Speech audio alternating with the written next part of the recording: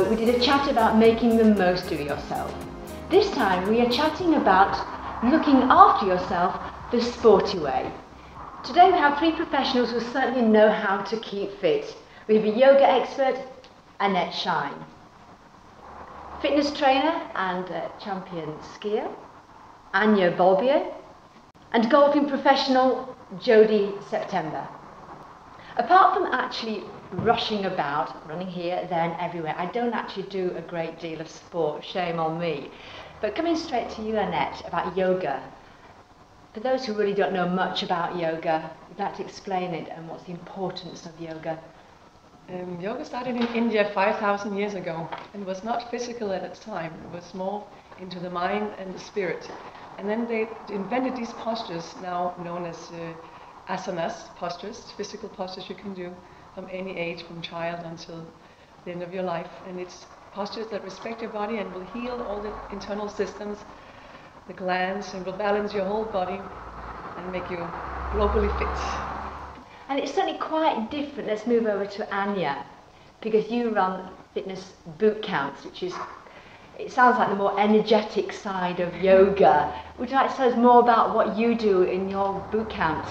Well, I guess it's a different temperament or atmosphere in, in a boot camp.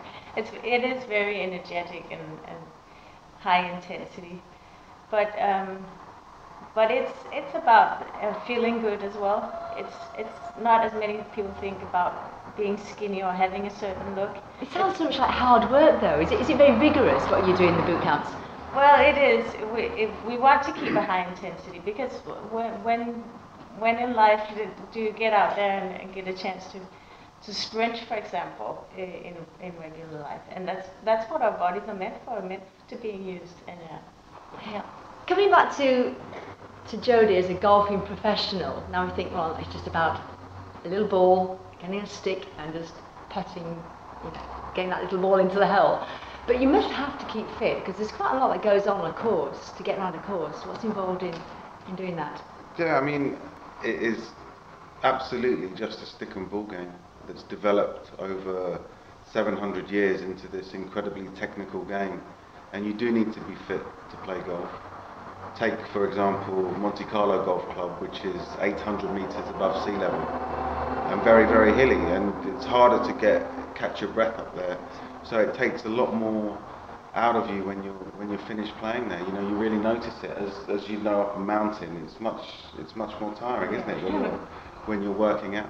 But so what sort of preparations would you do if you were playing a round of golf? What what would you have to do?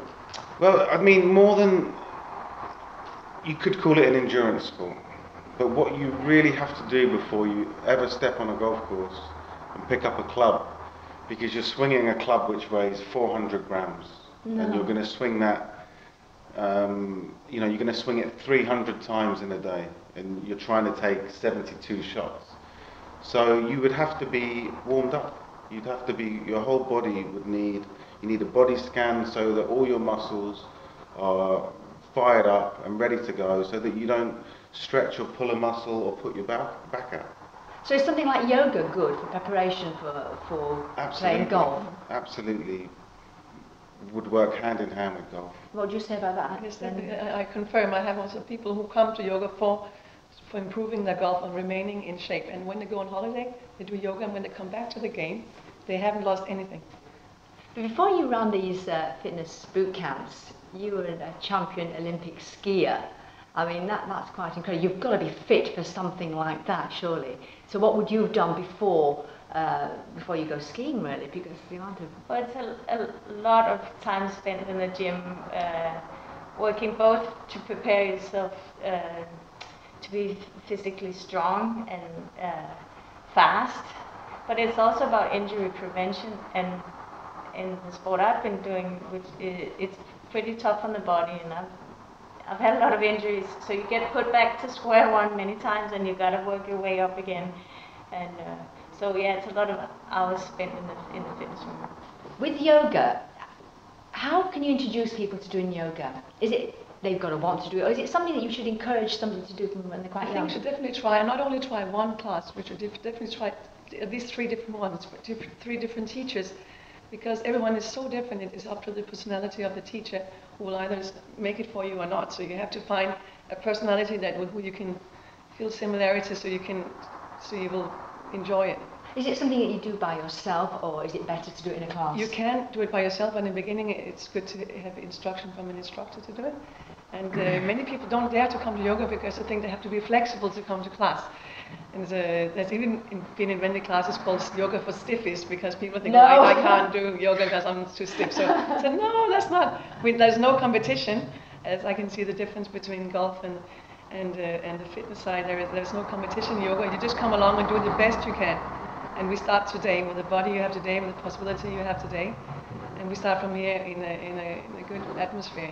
A, So with yoga, it's about having a healthy mind as well, though, isn't it? yes, and not uh, be so hard on yourself.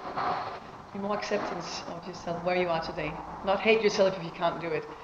Still love yourself anyway. And going back to the, the fitness boot camps, um, again, we talked before about introducing children into to, to sports, getting them more motivated because I think, like we mentioned before, that, that, that happy drug that you, you release when you're doing energetic sports. Is that something we should be sort of helping with children to do? I think it's it's uh, almost our duty to provide the opportunity for the children to go out and, and, and choose an activity.